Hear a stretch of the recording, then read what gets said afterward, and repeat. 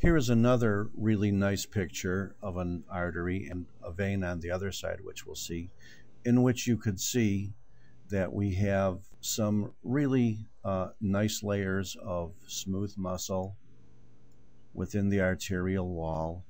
And you could see something here, what you might imagine as being an internal elastic lamina. But otherwise, the media is uh, just chiefly uh, circular bands of smooth muscle. You can see the adventitia around it with smaller vessels around the artery and a lot of loose connective tissue and fat. If we did an elastic stain of this exact artery, which has a rigid, non-collapsible wall, we would see a, uh, a very, very nice internal elastic lamina. You see how nicely that squiggly elastic uh, bundle stains with uh, elastic uh, stains? And uh, we, if we went back to the H&E, we would certainly see every now and then that the uh, substance deep to it would be uh, intima, and maybe we would be lucky enough to see perhaps some individual uh, endothelial cells as well. well, perhaps here, perhaps here. All the rest of these are smooth muscle. In contrast to the uh, artery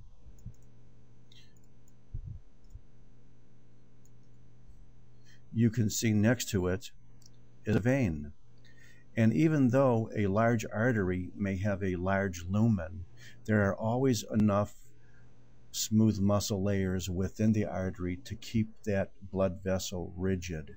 Whereas a vein, even a very, very large vein, will uh, have a wall that is so relatively thin, it would be very, very much subject to collapsing as well as to uh, pooling of blood, which is why veins have valves and arteries don't.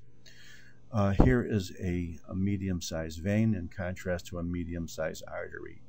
Uh, thinner wall and collapsible lumen. Also note that down here is a same vein with an elastic stain, and you could clearly see there is no internal elastic lamina in any of the veins.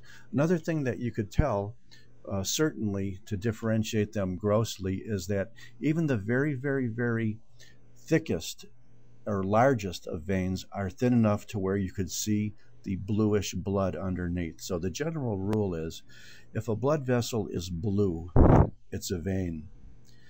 And if a blood vessel is hard, it's probably because there's a lot of dried blood within that uh, lumen.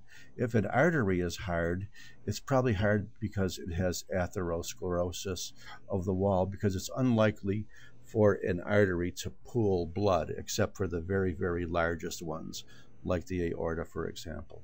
So here's a classical uh, medium-sized artery, and here's a classical medium-sized vein.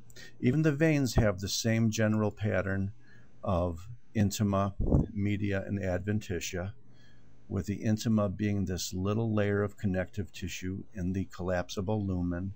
Perhaps you might be lucky enough to find some uh, endothelial cells in the middle. And then the uh, actual wall being chiefly just a few layers of smooth muscle cells, and then once again, this loose connective tissue of the adventitia.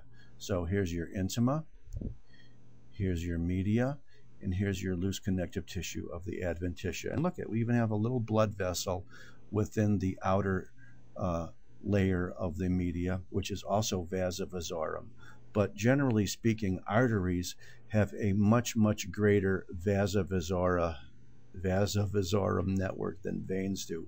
So if you see a blood vessel that has a lot of uh, tiny little uh, blood vessels on the surface of it, it's much more likely to be an artery rather than a vein.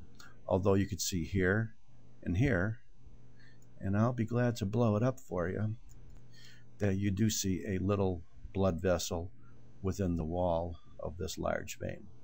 And I thank you very much.